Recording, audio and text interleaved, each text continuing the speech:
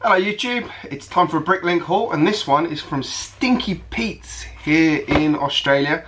With a name like that, how could I resist?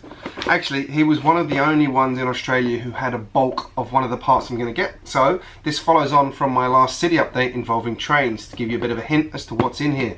I thought for this haul as well I'd include a, uh, a DC poly bag one of my uh, one of my good friends over here gave me today uh, I wasn't expecting it. He asked me uh, what DC figures I didn't have. I said, well, to be honest, I don't have any. It's one series I haven't actually bothered with, although there are a couple I would like to get. So let's open this up and see what he gave me. And let's hope this isn't going down a rabbit hole of having to buy a whole load more. Oh, Batman. Which Batman is this? This is the, oh cool. Hang on. Make sure I get the name right on this one because I really haven't looked at the DC ones. I'm sorry everyone who's a DC fan. I do like some DC stuff but where are we? This one, number 16. What's he? Looks like a young Batman. cool. Alright. Tell me in the comments which one that is. I will look it up afterwards. Didn't know what one it was coming, so let's get my GJ Bricks figure out of the way now. Here is our box of Stinky Pete goodness. Sounds a bit weird saying that, but let's open this up. And you'll quickly see why this one's important. He also had a load of other stuff on here, which is very important, and I will go through that in opening the box. And this actually extends from another one I have um, coming uh, to do. So here we have the very, very, very, very, very important 20 pieces of straight track. Now, as anybody who collects train stuff knows, straight track is a pain in the butt sometimes because you get so many curves in Lego sets that straight is just a pain in the butt to get. Stinky Pete had the most straight track of any of the Bricklink sellers in Australia that I could find. I almost cleaned him out but then I realised I actually do have some straights in some of the boxes I haven't opened yet so that's good as well as another one I got today. Oh, shouldn't give that away but anyway, yes. What else do we have in here? He's given me a box. No, he's just used that as packaging. Put that in my rubbish box. Let's get through this. Now, one of the things I mentioned in my recent video was I need to make my bridge bigger. So, one of the things I have done to facilitate that was I got some parts in his shop that anybody who's done anything with technical or any kind of sort of big area builds knows that Lego is quite, I can't open this, I don't know why, where's the, my goodness, it's adult proof, there we go. Um, anybody who's done anything with uh, big builds in Lego knows that Lego likes to use these parts a lot because they're really good to build up. Like you can stud them together and they give really good solid foundation and you can plate across the top of it. So I got five of these to use in the bridge. Um, I was thinking about structurally where I'm going to put them and how I'm going to make that work because obviously the span is going to be a lot bigger. But I'm going to cover that in another video. The bag sealed itself again. Good grief. So yeah there is five of those. Then bucket load of plates again for the bridge. I need it for the bridge, but I actually do need plates. I have used up a load of plates recently, so we got load of these ones. These were good value. had 10% off when I bought it, so that's why I just went sort of a bit to town on the good value plates. Anybody who's ordered from Bricklinks knows that sometimes some stores something like this can be more expensive than on other stores. His store was actually good value, so I got a load of them, as you can see. I can't remember how many of these I got. I got a lot of them anyway. So these are for use in bridge and for MOCs and for filling out new areas of Studsburg, which is good. Here we have more track. Lots and lots of straight track. All right, now we get down to, I'm gonna put all this out the way because now we get down to the messy bit. There is a, lot here.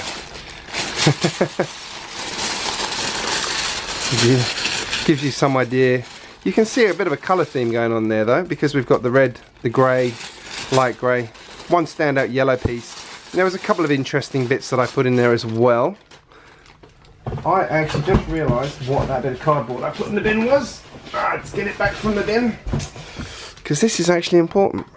I thought it was in this bag, it's not. So let's have a look. Ah, these Ziploc bags don't like me. There we go. Well, well wrapped. Always impresses me how well wrapped some Bricklink stores are. Right. Lots. I'm probably going to regret tipping this all out. I think that's the end of the bag. Yep, right. Here we go. So again, let's just work our way through this. Let's put this all out of the way. Yeah, so again, lots of plates. Lots of plates. These are ones, I've gone through a lot of these plates recently, and you'll see that in a couple of upcoming MOCs. I also need it for the bridge. Anybody who's built that Marvel bridge knows there's a lot of plates in it. Um, I obviously am going to be changing it quite heavily, so I need them for that. I've got a couple more of these because I actually ran out of them strangely. I, I dropped one of my trains and this bit broke off and I, gluing it back on didn't work. Just wasn't happy. So I just got new ones because they were on cheap. Uh, again, more plates! more plates, lots of plates, huge amount of plates. I like these. I like these pieces because they're very good for uh, doing kind of detailing in anything industrial, trains, things like that. So I've sort of been picking up a couple of these here and there for use on, if you saw my brake carriage, uh, my coal truck uh, or my wagons I built for my commemorative train, you'll know I used one of these underneath one of those as a sort of braking handle type thing. So very useful for that kind of stuff, very useful for industrial stuff. So yeah, I just be picking those up as I see them. Um, they're not generally an expensive part, but they are useful. And again, another part that's quite useful for doing some sort of industrial detailing.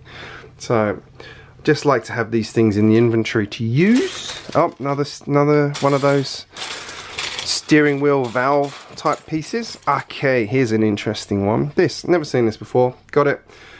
Um, I have uh, a couple of places where I think I'm going to use this one. I am going to be doing uh, a service station MOC and I figured this could be useful for that one.